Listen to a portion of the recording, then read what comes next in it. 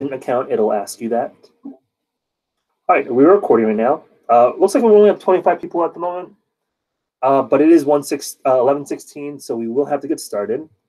Um, what I'm going to do is I'm going to turn my camera down so you guys can see what's on my table, and we'll get started right away. Here we go.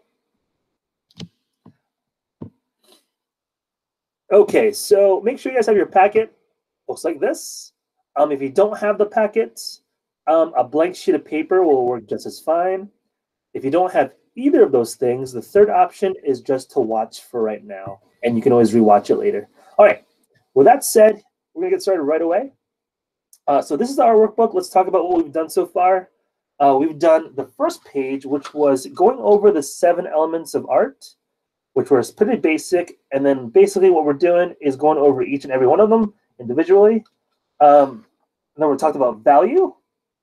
So value, we talked about how you could shade like this with blending. You could uh, add value by going something called hatching using the straight lines. We talked about cross hatching. Uh, we talked about stippling. This is my favorite one. Stippling using value by or creating sh uh, shading with just dots. And we have a couple examples below right here. That was value. Great job. Uh, then we also talked about the color wheel. We talked about how, here, let me move this over a little bit. We talked about how there are three primary colors. We talked about how there are three secondary colors. And then we did talk about a little bit that there are about six tertiary colors. So when you mix primary colors together, they equal secondary colors. But if you mix primary and secondary colors together, they equal tertiary colors. That's why you can see in my color wheel, I have about 12, 12 colors. But on your color wheel, you guys see only six. So we'll talk about that more later on, either next year or this year. I don't know. All right, so let me just remove these crayons because we don't need them for today. All right, so let's go to the next page. What we what else we did?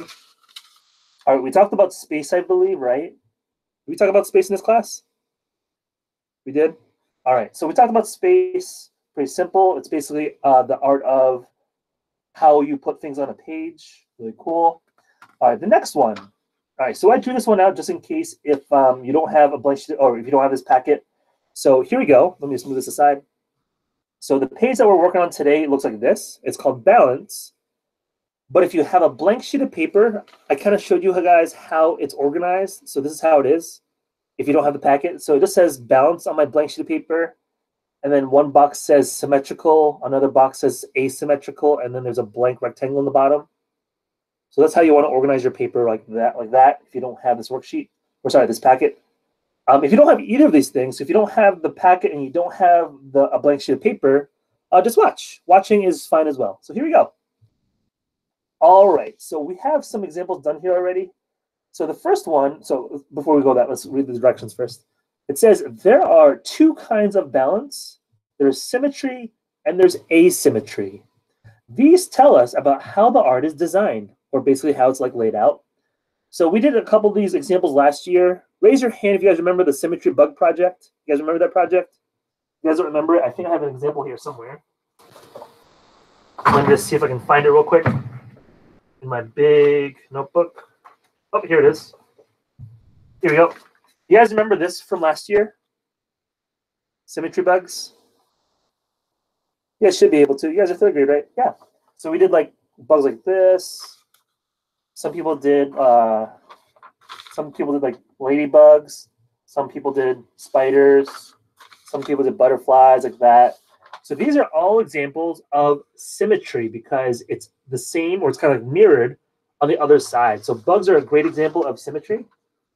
Um, symmetry can also be seen in like if it's like a reflection of water or someone's face. So those are all examples of symmetry. So now you'll have a blank um, square right here with a dividing line in the middle. Um, what I did was I turned my paper sideways and I kind of made like an island and it's kind of reflecting on the river like that, kind of like, like that. Uh, what you guys can do, you guys can do whatever you guys want. I've seen people do like a bug like this. So what you're gonna do in that blank square right there, I want you guys to make something symmetrical. So what I'm gonna do is do my own example. So maybe I'll divide my paper in half like this. But you guys have the packet already, which is great. So what I'm going to do is do something maybe simple. Maybe I'll do a butterfly. So half a circle for the head, and then a long oval for the body. I'm going to copy both of those shapes on the other side, and I'll do wings. So wings on this side, and wings on this side, and I'm going to make sure it's symmetrical. There you go. If you want to go more advanced, you can. So that is a great example of symmetry. Great. Uh, Alyssa, do you have a question?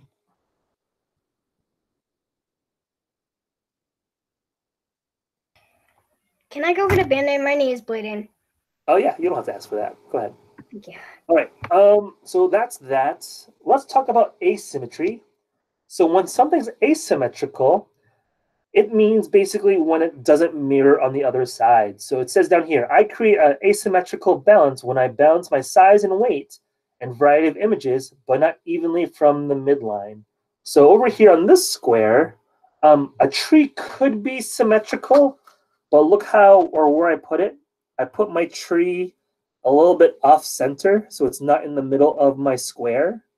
And then I put three clouds uh, kind of in random spots, so that way it's not symmetrical either. So that is my example of asymmetry. So you could do something that's asymmetrical on yours. So again, here's my blank sheet of paper. Here's my dividing line. So again, I'm doing this because just in case you don't have the packet. And then I'm going to draw something maybe something asymmetrical. Um, I know something that's asymmetrical. A dog, if you draw like from the side view. So here is its front leg. Here's its back leg. And here's the tail on this side. And obviously there, there won't be another tail on the other side. On the other side, there'll be a head. And then the body. So there you go. That's something that's asymmetrical. That's a good example of asymmetry. All right, the last one on this page, it says, do you know any shapes that are symmetrical? And it's asking you to draw them. So if you guys want to follow along with me, you can. I know a couple. I know for a fact that a circle is symmetrical. Basically, any way you divide a circle, it works. If you divide it in half like this, up and down, it's symmetrical on both sides. If you divide it side to side, it's symmetrical on both sides. If you divide it even diagonally, it's symmetrical on both sides, yeah. So a circle is symmetrical. A triangle is symmetrical. So if it's an even triangle like mine, if you divide it from the point, it will turn out symmetrical. If you turn it out from this point, it should be symmetrical. All right.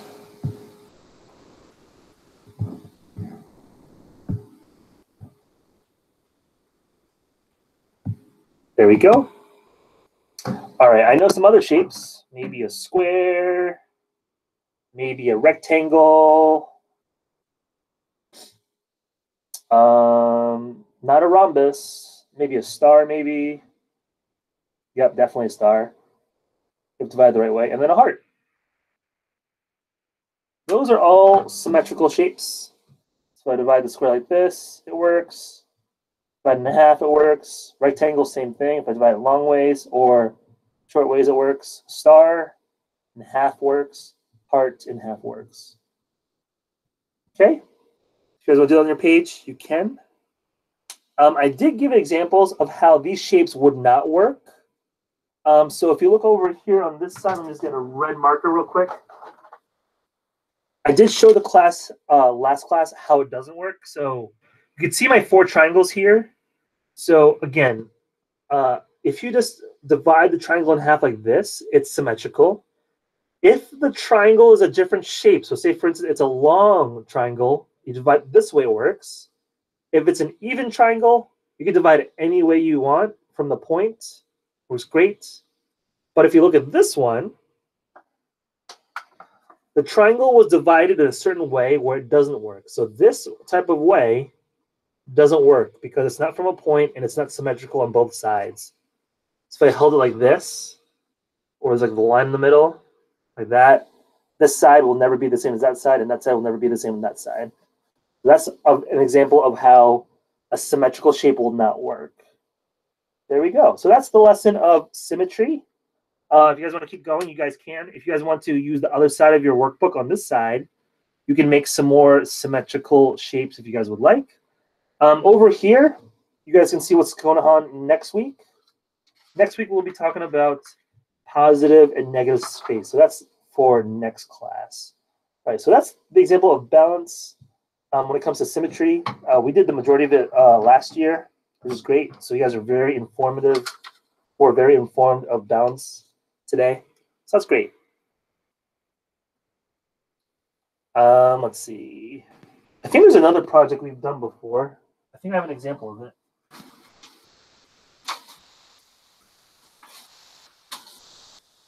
Here it is.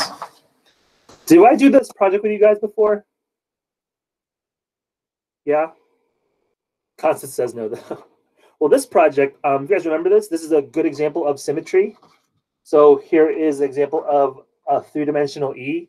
So it's symmetrical on both sides. So that was from last year. Here's mine We're here. So this is a good example of symmetry again, how it kind of works. It's kind of cool. I might boost this up to third grade, so we might do this again. I haven't decided yet. But this is a really good project for learning how to do balance and symmetry. So that was a really cool project. All right. Uh, we only have about three minutes left. I did turn off chat because there were people using it inappropriately. Uh, but with that said, I will turn my camera around so you guys can see me because it is almost time to go. And then I will make sure that I stop recording. Okay, the recording is stopped.